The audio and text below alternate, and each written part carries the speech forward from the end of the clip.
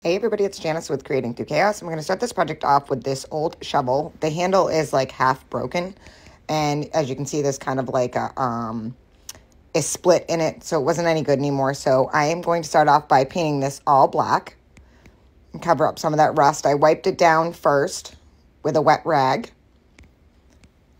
Once I have it all painted black, I'm going to take a piece of chalk and I'm going to draw out three half circles and these are going to be snowman heads. And as you can see, I decided I didn't like the way that one came out, so I'm just going to kind of go over again. That's why I used chalk.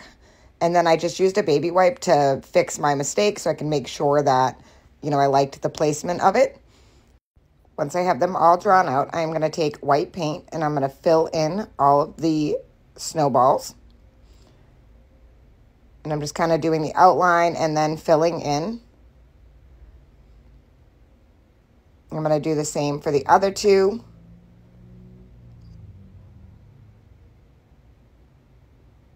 And just kind of follow along the line there on when they where they connect. As you can see, I kind of left a little bit of the black, not a lot, but mostly covered it. I just want to kind of remember where my lines were so I don't paint right over them and kind of blend them all together.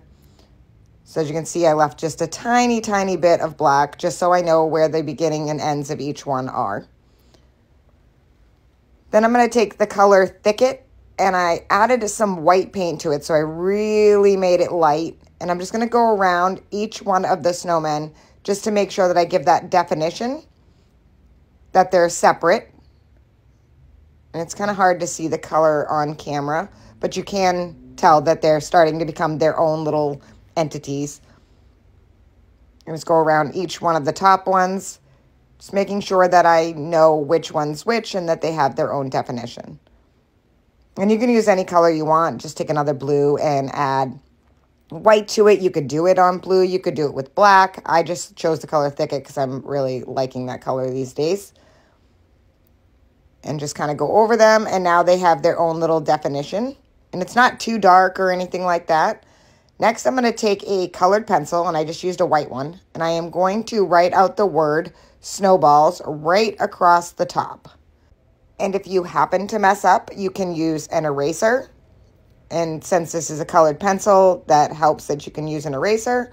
Or you can just start over and paint it all over black again. So once I have it all written out, I'm going to write five cents underneath. So snowballs, five cents. And then I am going to take a really thin brush and some white paint and I'm going to start filling in all of these letters. Now, I did a little snowflake underneath the exclamation point, so I'm just going to connect all of those. And as you can see, I'm kind of adding a little line to the end of each one of my letters. So go down the L, and then I'm going to put a line at the top and at the bottom of each one of those. And I'm going to continue to do that through all of them. I'm not worried about getting full coverage. They don't have to be perfect. Just kind of taking my brush, dipping it in the paint, and then just going across. And then again, adding my little lines. And this just helps the letters so that if you do mess up, they just don't look so bad and they don't have to be perfect. This is just a fun project. Nothing has to be perfect, especially when you're painting something like this kind of adds to the rustic primitive vibe of it. And then again on the S.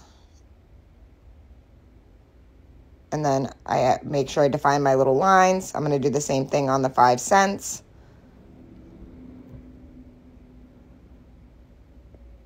And I didn't want my um, five to be as long at the top, so I just kind of cut it down. And look how cute this is.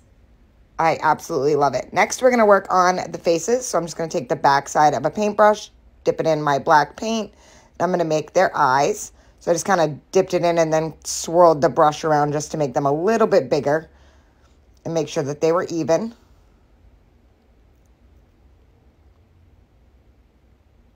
And then once I had the eyes on, I'm going to take a little bit of pink and I just mixed red and white paint together to make a pink. And I'm going to give them each some rosy cheeks.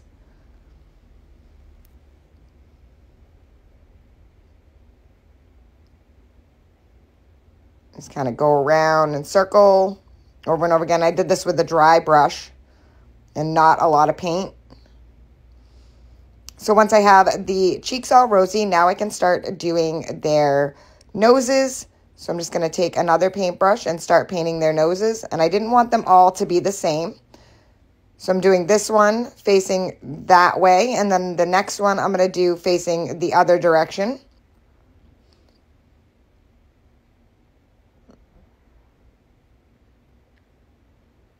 And I kind of changed up the nose, didn't do it exactly the same. And I always try to outline my nose and then fill it in. Make sure that's all even. And then this one I'm just going to kind of point in a downward. So not as up as the other ones. And look at, they're so cute. They're coming together. Next, I'm going to take the back side of a paintbrush and I'm going to do the dots for the mouth. Making sure that they're all the same size.